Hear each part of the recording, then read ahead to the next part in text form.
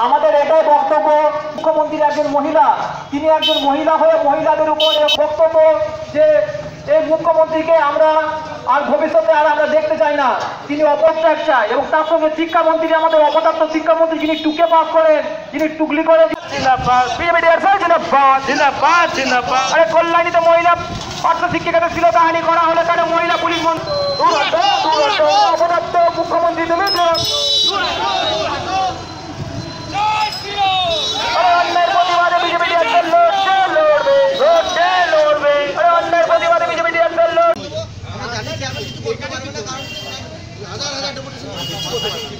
পর্ষদের কাছে প্রাথমিক শিক্ষা পর্ষদ চেয়ারম্যানের কাছে আপনার নাম ও পরিচয় আমার নাম পার্থ সারথী ঘোষ। কল্যাণীতে যে আমাদের উপর আমাদের পার্শ্ব শিক্ষক পার্শ্ব শিক্ষিকাদের উপর যে অকথ্য অত্যাচার চালানো হয়েছে তারা যে তাদের বেতন বাড়ানোর দাবিতে সেখানে কল্যাণীতে হাজির হয়েছিলেন এবং রাত্রেবেলা লাইট অন তাদের বন্ধ করে তাদের উপর অকথ্য ভাষায় তাদের উপর অত্যাচার করা হয়েছে। এমনকি শিক্ষিকা যারা ছিলেন তাদের লাইট বন্ধ করে তাদের শাড়ি ব্লাউজ ছায়া ঠিক আছে সেগুলো তাদের শ্লীলতাহানি করা হয়েছে। এবং তার প্রতিবাদে আমরা এখানে ধিক্কার মিছিল জানিয়েছি। এবং তাছাড়া আমাদের আরও যেগুলো ডেপুটেশনের পয়েন্ট ছিল সেগুলো হচ্ছে যে আমাদের বর্ধমান জেলায় একটা বিরাট একটা কাঠমানি কাঠমানি চক্র একটা আমাদের চেয়ারম্যান চালাচ্ছেন।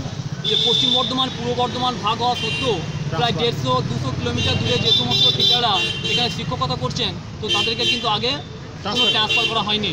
কিন্তু সেই সমস্ত স্বচ্ছতার সঙ্গে কোনো ট্রান্সফার করা হয়নি। কিন্তু সেই সমস্ত টিচারদের কী করা হয়েছে? না, তাদেরকে বিভিন্নভাবে অস্বচ্ছভাবে তাদেরকে হচ্ছে টাকার লোভ দেখিয়ে তাদেরকে এসব ট্রান্সফার করা হচ্ছে এবং কোন টাকার বিনিময়ে। আমরা যে ওদের শুনছি, দেড় লাখ, দু লাখ, এইভাবে টাকার বিনিময়ে তাদেরকে ট্রান্সফার করা হচ্ছে এবং বাকি সমস্ত টিচাররা যারা টাকা দিতে পারছে না, তারা সেই সে দূরেই থেকে যাচ্ছেন এবং এইভাবে একটা চক্র আমাদের চেয়ারম্যান এবং চেয়ারম্যানকে আমরা বলা সত্ত্বেও চেয়ারম্যান এর বিরুদ্ধে কোনো ব্যবস্থাও নিচ্ছে না। তিনি শুধুমাত্র খালি কলকাতার এবং বিকাশ ভবনের আজকে আপনারা এখানে কতগুলো বিষয় নিয়ে ডেপুটেশন দিতে এসছেন? পেপারসটা আছে? আরও যেটা সেটা হচ্ছে যে আমাদের এই আমরা আমরা দু হাজার দশ সালে আমরা সব রিক্রুটমেন্ট হই এবং তারপর আমরা যারা নন ট্রেন্ডে ছিলাম এবং ওয়ান ইয়ার যাদের ট্রেনিং ছিল এবং সরকার থেকে তাদেরকে ট্রেনিং করানো হয় এবং সেই ট্রেনিংয়ের পর আমরা টেন স্কেল পাই। তো সেই টেন স্কেল আমরা পেলেও তার যে এরিয়ার তো সেই এরিয়ার এখনও পর্যন্ত আমাদেরকে সেই বকেয়া এরিয়ার এখনও প্রদান করা হয়নি। এবং আজকে প্রায় তিন বছর ধরে এ মাসে দেবো ও মাসে দেবো এ মাসে দেবো ও মাসে দেবো করে সেই টাকা আমরা এখনও পর্যন্ত হাতে পাইনি।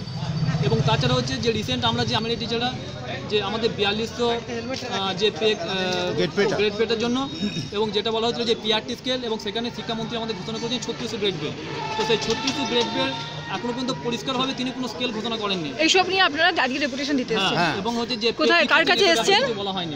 কার কাছে এসছেন? কার কাছে এসেছেন?